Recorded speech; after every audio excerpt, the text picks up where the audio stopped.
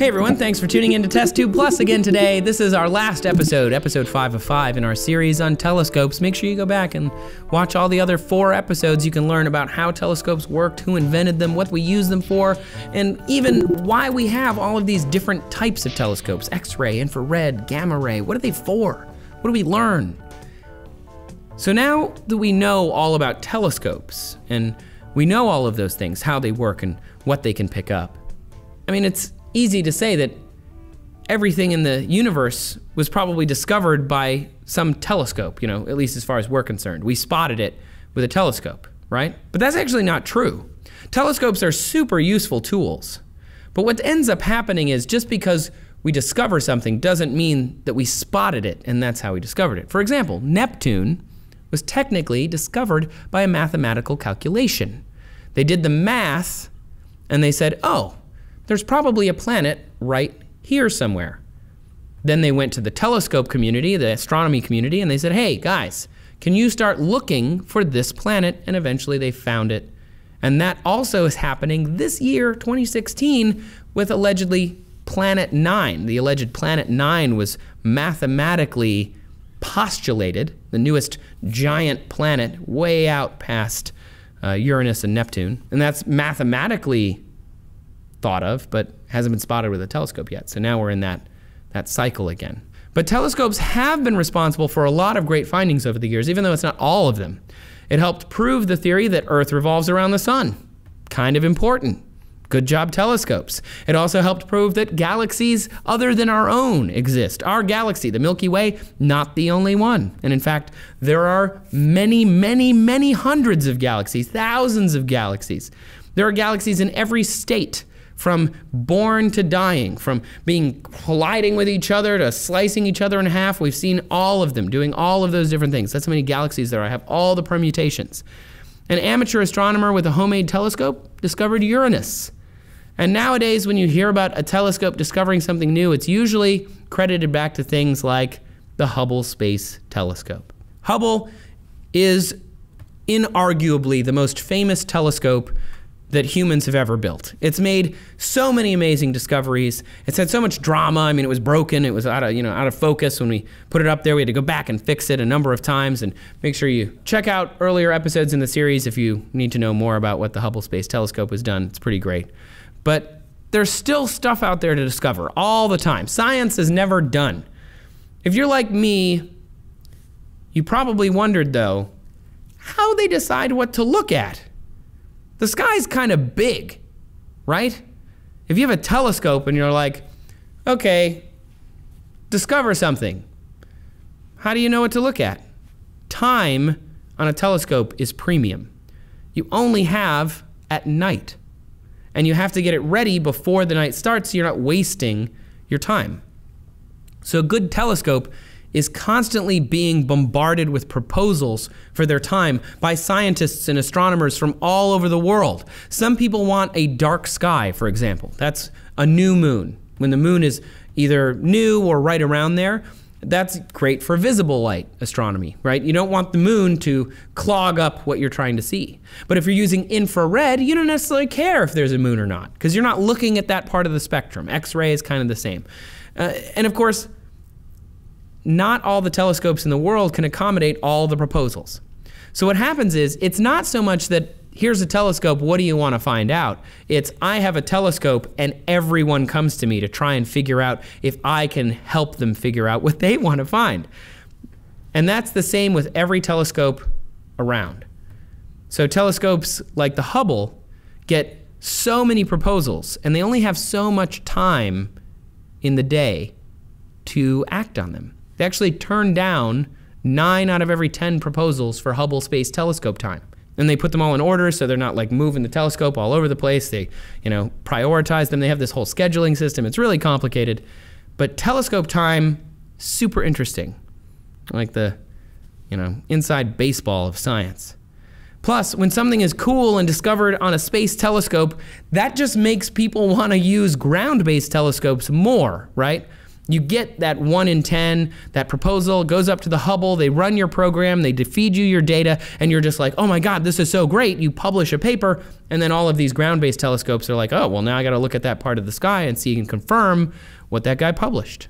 More discoveries just breed more discoveries when it comes to telescopes. As we speak, there's actually a team getting a new amazing space telescope ready, the James Webb Space Telescope, the JWST. The JWST is going to be the successor to the Hubble, which will eventually die. They'll probably deorbit it. It'll crash in the ocean somewhere. Really, really sad, actually, if you think about it. It's been around forever, but I mean, it seems like to me, young kid, but whatever. Anyway, James Webb is going to be an optical and infrared telescope, and the idea is it's going to be able to see the oldest things in space, the very first galaxies to form after the Big Bang. It's equipped with a mirror that's six and a half meters across. Hubble's is only 2.4, which means it's going to have a larger field of view. It's going to see further, it's going to see fainter objects, and it can see more light. The instruments on the James Webb Space Telescope will be able to pick up better infrared images more spectra. Besides the mirrors, the big difference between the Hubble and the James Webb is that that infrared wavelength is a whole new way of looking at the universe, right? Hubble can really just see what we see, just that little sliver, optical EM radiation. Infrared, just outside of that, tells us so much more, temperatures and all sorts of stuff. Tune into the earlier episodes if you haven't done that already. But doing all of that combined with a bigger mirror means more power, more science, more discovery. Besides that, we can use the James Webb to measure redshift because the universe is expanding. We can get a better picture of how that is expanding and how light emitted from different things is being redshifted differently. The James Webb Space Telescope is just going to be incredible. I mean, the number of mirrors, and I know I've said this already, but it can see the earliest galaxies, it can see the beginnings of our universe. That's insane. It'll be able to see things that are 10 billion times fainter than the faintest visible stars that you can see with your eyes looking up at the night sky. That's 10 to 100 times more faint than even what the Hubble Space Telescope can see. So imagine every Hubble Space Telescope image you've ever seen that's like, wow, multiply it by 10 to 100 times.